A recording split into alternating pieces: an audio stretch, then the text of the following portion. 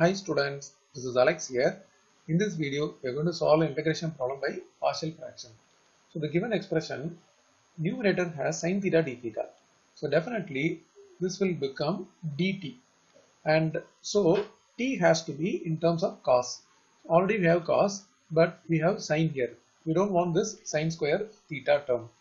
So we are going to replace that sin square theta as 1 minus cos square theta. So integration of sin theta d theta whole divided by 4 plus cos square theta into 2 minus bracket open 1 minus cos square theta. Now this will become integral sin theta d theta whole divided by 4 plus cos square theta into when I take this minus inside first term will be as it is but this will become minus 1 plus cos square theta. Now this will become integral sin theta d theta whole divided by 4 plus cos square theta into another term will become 1 plus cos square theta. Now we are going to take substitution t equal to cos theta. So dt will become minus sin theta d theta. When we replace this, we get minus dt in the numerator and denominator is 4 plus t square into 1 plus t square. Now we are going to take this expression alone that is we have non-factorizable quadratic expression. To make it simpler, let's take u equal to t square.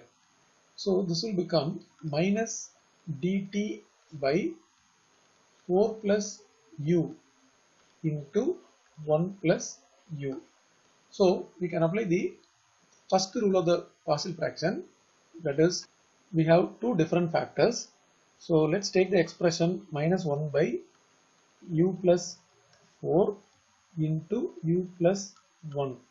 So this will be a by u plus 4 plus b by u plus 1.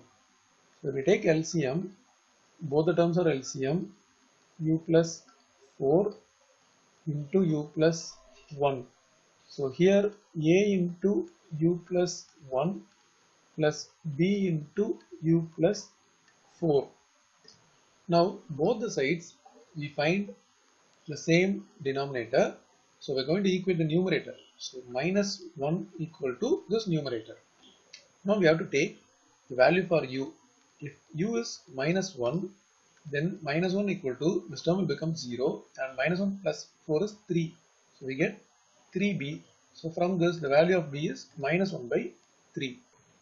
When u is minus 4 we get minus 1 is equal to this will become minus 4 plus 1 is minus 3. So minus 3a and another term is 0. So from this we can cancel both the minus and the value of a is 1 by 3.